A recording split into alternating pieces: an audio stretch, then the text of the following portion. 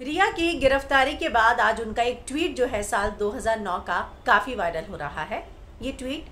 साल 2009 में एक लड़की के बारे में है। क्या लिखा है उन्होंने इस ट्वीट में और आज क्यों वो इतना रेलिवेंट है? मैं हिना कुमावत, फ़िल्म इंडो आपको बताऊँगी। नारकोटिक्स कंट्रोल ब्यूरो ने रिया को गिरफ़्तार किया है और जो चार्जेस लगे हैं उसके बारे में मैंने आपको बताया कि कैसे जो चार्ज है उनमें एक चार्ज ऐसा है जिसके लिए उन्हें 20 साल तक की सजा हो सकती है। हालाँकि ये सारे अभी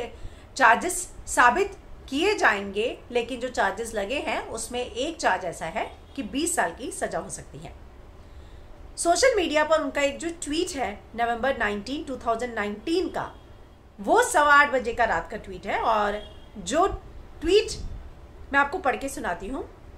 Just stepped out of a weird scary and grudging story of an Indian girl who served four and a half year jail sentence for narcotics trafficking. तो इस ट्वीट में रिया ने एक ऐसी लड़की का ज़िक्र किया है कि एक लड़की है जिसको साढ़े चार साल जो है जेल में रहना पड़ा, क्योंकि उसका अपराध ये था कि उसने नार्कोटिक्स ट्रैफिकिंग की थी और ये जो है बहुत ही ज़्यादा वियर्ड और डरा देने वाली स्टोरी थी इस बारे में उन्होंने अपने ट्वीट में लिखा है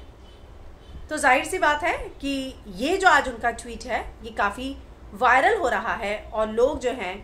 इस ट्वीट के बारे में उसके नीचे ये लिख रहे हैं कि अब जो है, रिया का भी ऐसा ही कुछ हाल होने वाला है और साल 2009 यानी कि 11 साल पहले का ये ट्वीट है, जब उन्होंने नारकोटिक्स ट्रैफिकिंग के बारे में, एक लड़की के बारे में ये सुना था तो लिखा था कि कितनी हॉरीफाइंग स्केरी स्टोरी है और आज उन्हीं पर कुछ ऐसे ही चार्जेस लगे हैं